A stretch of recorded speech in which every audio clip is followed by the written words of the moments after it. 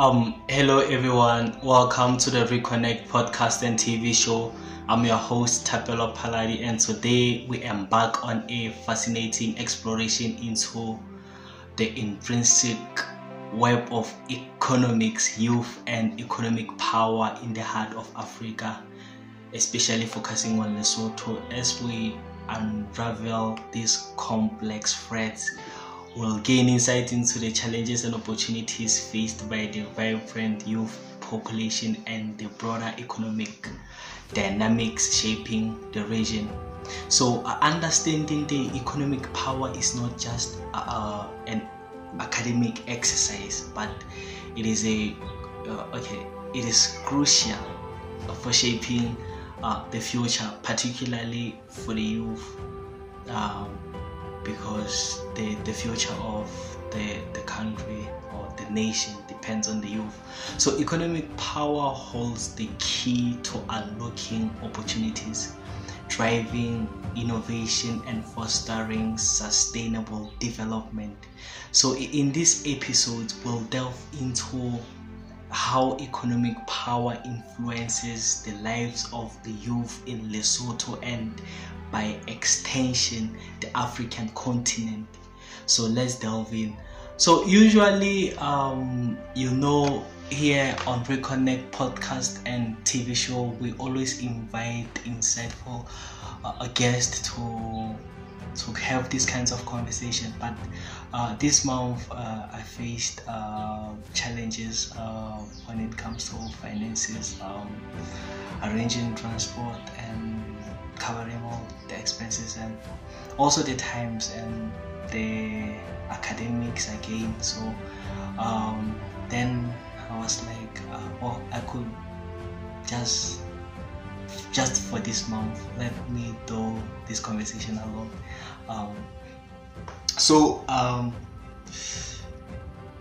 we we will start first by the the importance of the economic power. Um, um, so it's not merely about the accumulation of wealth. So usually uh, people when we say economic power, first thing that can come to mind is maybe the accumulation of wealth, but it's not just about the accumulation of wealth, but it's about the ability to influence, shape, and navigate the economic landscape. So, in the context of Lesotho and Africa at large, Economic power plays a pivotal role in determining the trajectory of development, social progress, and uh, crucially the opportunities available to the youth. So why is this understanding so vital? So not like this understanding whereby we can just um, the accumulation of wealth, but we talk about the ability to influence. So why is uh, this understanding so vital. So because um, the youth uh, represents the future, they are the architects of change, innovation, and progress. So their economic well-being and empowerment are not just uh, matters of social justice, but are directly linked to the overall prosperity and stability of the region. So in Lesotho, where significant portion of the population is comprised of young people. The economic prospects are in uh, are intimately tied to the nation's economic uh, standing. So, um, youth empowerment also has to go with um, economy and yeah. So as we explore this intersection, we'll uncover how the economic power or the lack thereof can shape the educational opportunities, employment prospects, and overall quality of life for the youth in Lesotho and by extension the African continent. So we are not just going to talk about for Lesotho, um, uh, but we want to focus at Africa at large because Lesotho is in the African continent and also have things like geopolitics, but that's the subject for another day. So, uh, buckle up for the journey through the economic landscape of Lesotho and Africa as we examine the crucial interplay between economics, youth, and economic power. So that was just the introduction. I also get much into um, the subject of today, but giving you um, the introduction, uh, uh, it as we progress through this conversation. Um, why am I interested in economics and uh, economic uh, youth and all this? Uh, well, I I did um, principles of microeconomics while I was doing my first year. Um, from there, I started reading books, researching, and yeah. So, mm, so yeah. Anyways, uh, uh, the youth demographic uh, in Lesotho. So we, we can start with that. Um, um, so ke ke ngotse few notes gore ne ne ke refere like the key points so uh ke tlo kala pele ka bua ka the youth demographic in Lesotho so since uh, we have just uh, set the stage, we can turn our focus to the vibrant demographic uh, landscape of Lesotho, particularly its youthful population. Like, uh, I'm youth, so um, so yeah, uh, I'm interested in youth. Um, yeah, um, like usually. Uh, these uh, successful people they will always say invest in young people and all like yeah. So lesotho we all know that lesotho is a small landlocked country nestled within south africa. Uh, it boasts a population where you form a significant percentage. Uh, the demographic uh, pyramid here is characterized by a youth population, uh, presenting both unique challenges and incredible opportunities. Um, so, as of latest data um, or data, uh, the, major- the majority of you Lesotho's population uh, youth, which makes it a youthful nation in every sense. So, um, so when we hear things like uh, youth unemployment, uh, the stats are high, so it gives you a worry whereby the country, uh, the significant like population at large, youth. So, um, so this demographic structure not only defines the social fabric but also has profound uh, implications for economic development. So understanding this youth bulge is essential for grasping the dynamics of employment, education, and uh, societal progress.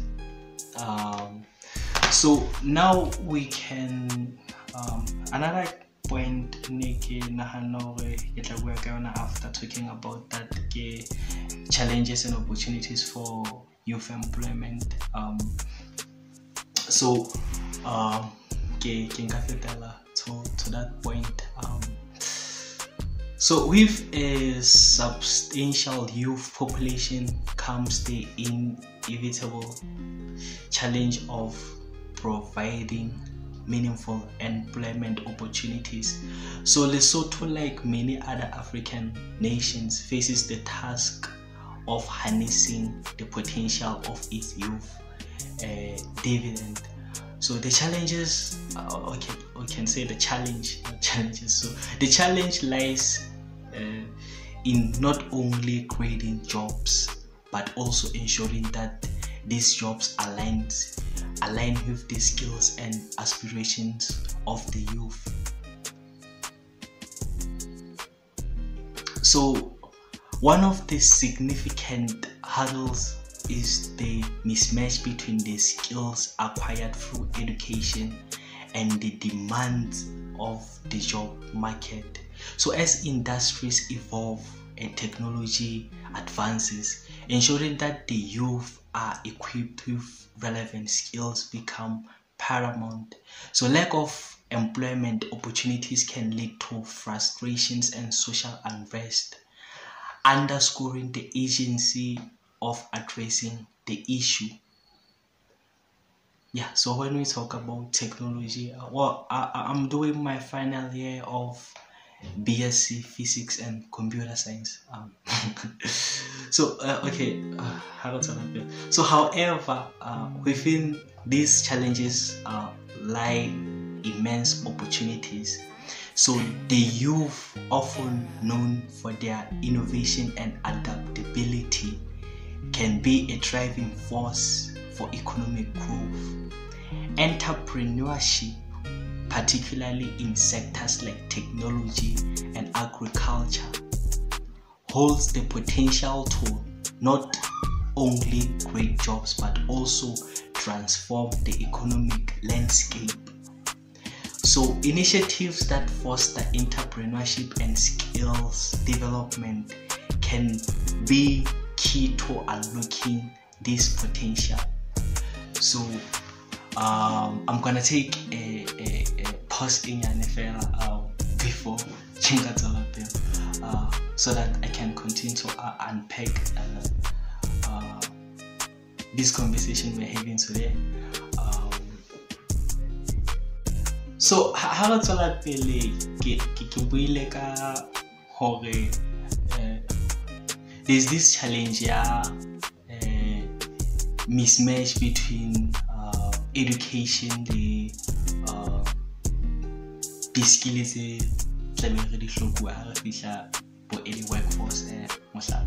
Um, but if those things can be aligned together like we can progress as a nation or even a continent or the whole world. So now re ka bua ka the role of education and skills development. So Education is the cornerstone of preparing the youth for the challenges and opportunities that lie ahead.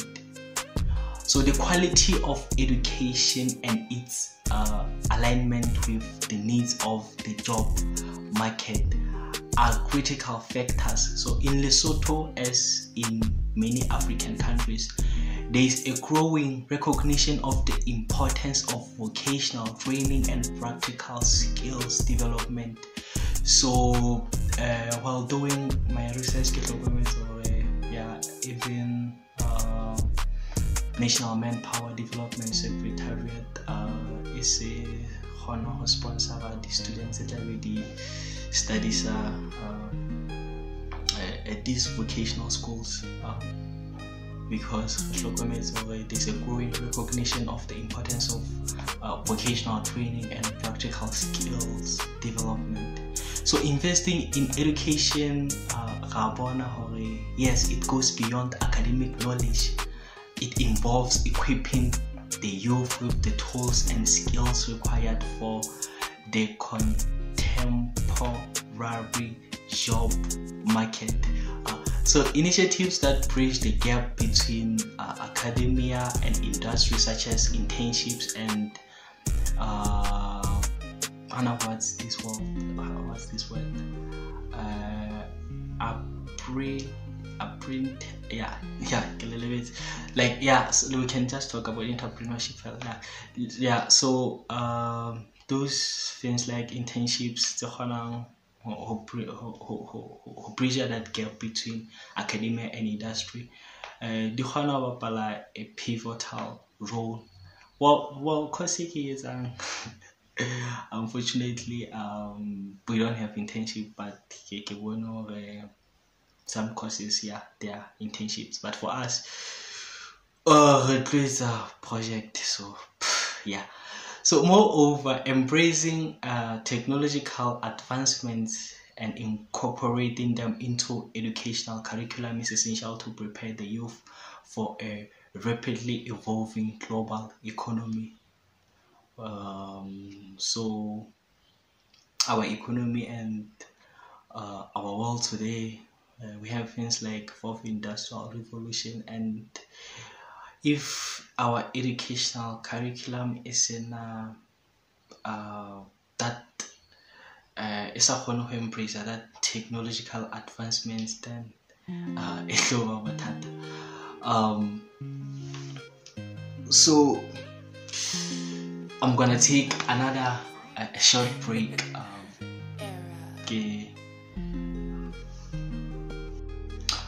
so um we can talk about the economic power dynamics in Africa. So as we broaden our lens to encompass yeah, the entire African continent, like just Lesotho, so it's crucial to recognize the diversity that defines its economic landscape. So Africa often portrayed as a monolithic um, entity uh, is a mosaic um, of nations. I think finally about is it 54 countries? Yeah. Um, so each of like each of that those countries or nations, each with its unique history, culture, and economic structure. To understand the dynamics of uh, economic power, we must appreciate the complexities that arise from this diversity. Even though sometimes we want diversity, but um, it comes, we have to appreciate the complexities that arise from that diversity. So, African economics range from resource rich nations with uh, booming extractive industries to those driven by agriculture, services, and technologies. Uh, we can just say technologies, technologies, but yeah. So the economic tapestry of the continent is as varied as its geography, presenting a rich tapestry of challenges and opportunities.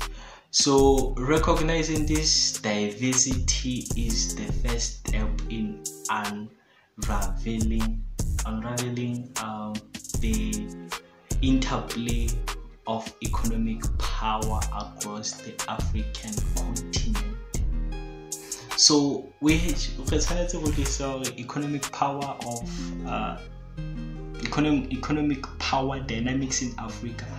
Um, re diversity ngata. So we have to embrace that, that complexity tla be arise with that diversity. Also um, um, we have agriculture services and technology. What's this one? Okay apologies. Uh, we, we, we another short break so that re kgone the concept of economic power in Africa. Or we can just so speaking about the concept of economic power in Africa uh, we, we we are delving into the concept of economic power and how it manifests in different African uh, countries. So, economic power uh, so now gonna fihla economic power that um it's not just about the accumulation of wealth but it's more so economic power is not uh, only measured by gdp figures it encompasses a nation's ability to influence global trade attract foreign investment and chart its own development course. So in Africa, economic power often manifests in different forms. Some countries' wealth influence through their natural resources like oil, minerals, or agricultural products. Others leverage or others leverage their strategic uh, geographical location for trade and transit. Additionally, economic power is closely tied to a nation's political stability, infrastructure development, and the inclusive inclusivity of its economic uh, policies. So, ga tseba political instability e kgona go affecta geopolitics like political instability ka yone e kgona go affecta uh, economy ya naga so if naga e na le political instability um, don't then the foreign investment can have a potata and so yeah so understanding these uh, dynamics um, is crucial for appreciating how african nations position themselves in the global economic order. So the rise of uh, regional economic uh, blocks such as the African Union and the East African Community further adds a layer of complexity as countries collaborate to enhance their collective economic power on the global stage. So, I'm not sure if I should take uh, another break, but I should move on to the next point. Um, navigating global economic challenges. Um, or we can just delve into it. So, navigating global economic challenges in the pandemic in a so we can just talk about. Um, so, navigating the global economic challenges. Um, requires an understanding of how African nations, both individually and collectively, engage with the broader international community, from trade agreements to investment partnerships. African countries are active partnerships in shaping the global economic narrative. Uh, uh, uh so, uh, some people believe without Africa, maybe civilization wouldn't be where it is today. Like we have resources, we have um, like um, so Africa provided civilization to the world. So um,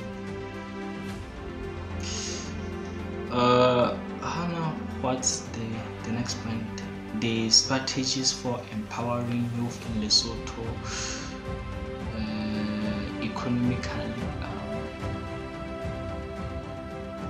Um? Okay. Uh, so, what are the strategies for empowering youth in Lesotho economically? Um, because for education, yeah, I think the solution is there. So one promising strategy is the promotion for inter- of entrepreneurship. So if um, uh, Lesotho and like uh, the stakeholders. Uh, so we say um, I we say uh, in like sectioning in a strategies for empowering youth in Lesotho economically. Um, so maybe one promising strategy is a promotion of entrepreneurship. So creating an environment because the environment uh, it to support uh, young entrepreneurs. Uh, so uh, creating an entrepreneurship that supports young entrepreneurs um, is key to unlocking innovation and job creation. Uh, so this can involve providing access to funding, mentorship programs, and creating a regulatory environment that encourages startups to flourish. yeah. Um, so the environment uh, on, on on on episode two uh, the guest in now the environment in Lesotho is not conducive enough um, like so yeah that's true um, because I did also face lots of challenges after incorporating a company. Uh, then later the license and from there um, access to funding ya sokodisa even today ha re so reke le di-mic for our podcast uh, the equipment ha e hantle for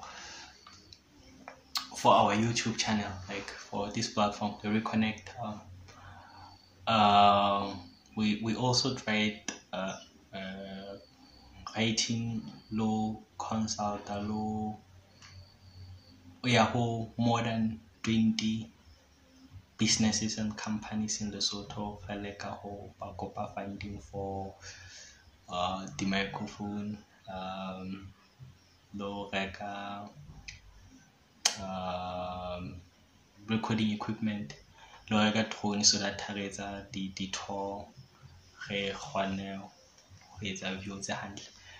Uh, but ba bang ga ba ka ba reply ba bang ba ile ba re batla kgutla ba bang ba kgutla ba re etsa gore ga ba tlo kgona so yeah. Uh, we do face lots of challenges related entrepreneur in in Africa well I believe in Africa as a whole but surely as time goes on like environment e be hantlenyana because uh, if we want to empower youth economically, um, we can't say we can promote entrepreneurship fela re sa create environment e le tla kgona go supporta di-young entrepreneurs. Um, so if o sena access to funding um, I remember after incorporating a company ke batla ho lo batla di-requirements tsa tsa loan uh, business loan. and um, it was kind of a challenge like but yeah. So environment it has to encourage startups to to flourish. So um, now that we look at that uh, I think next part could work uh, importance of entrepreneurship and innovation. So uh work entrepreneurship so re ka bua ka the importance of entrepreneurship and innovation so entrepreneurship uh, and innovation are not just buzzwords they are powerful engines for economic growth. So in Lesotho, as in uh, many parts of the world, encouraging a culture of entrepreneurship can be a game changer. So this involves breaking down barriers to entry, celebrating risk taking, and providing necessary support infrastructure. So Ravana, instead of uh, celebrating risk taking, Ravana uh, uh,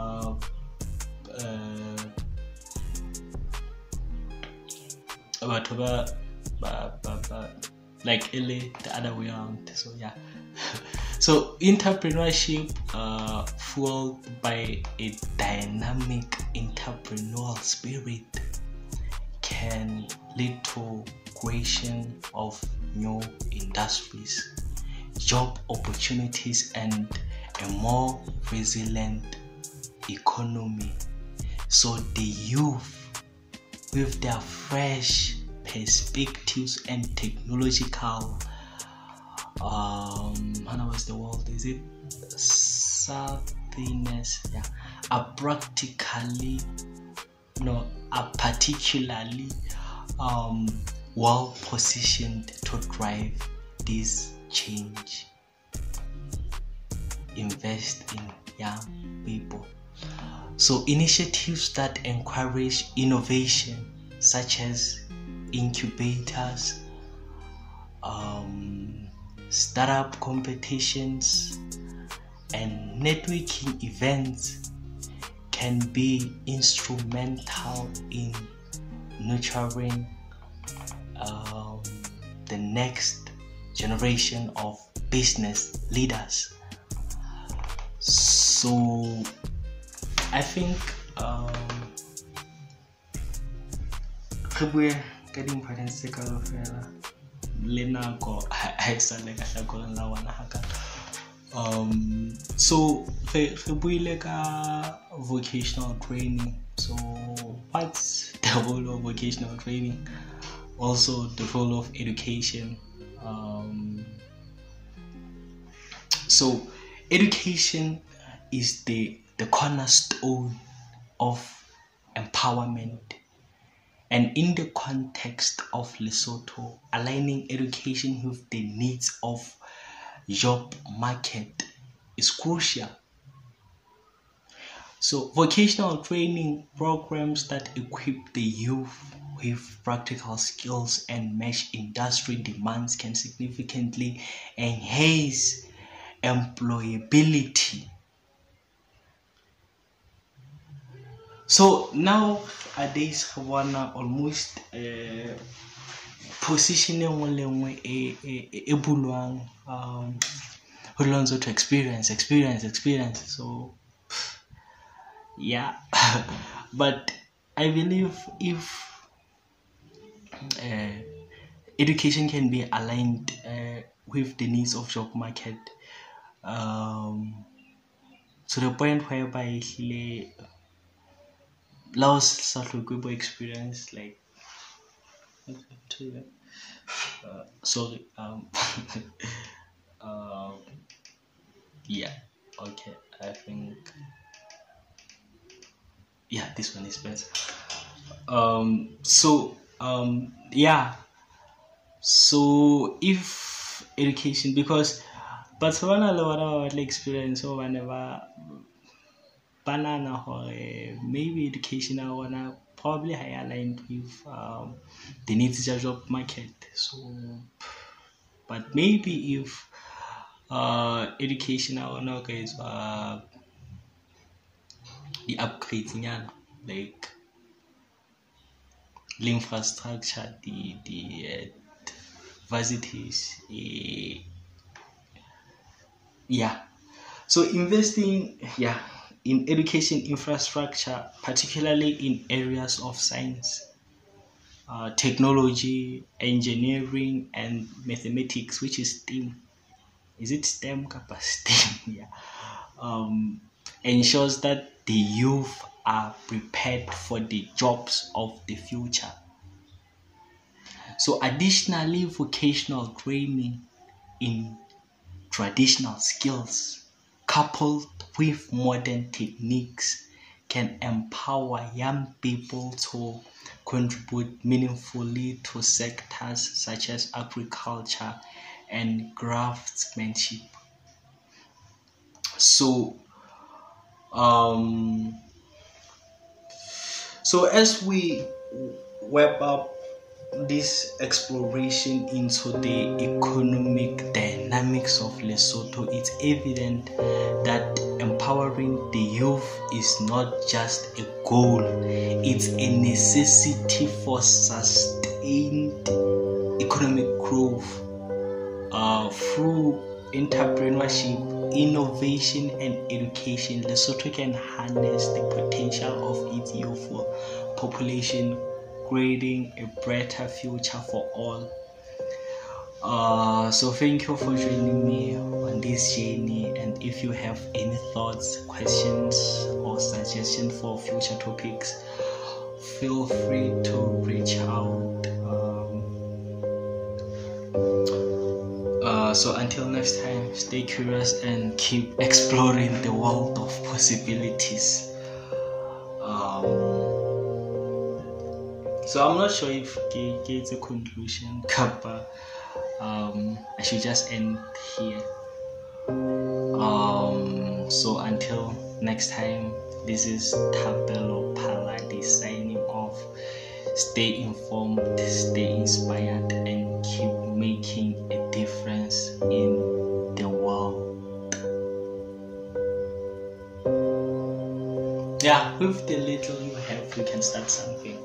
Ha ha.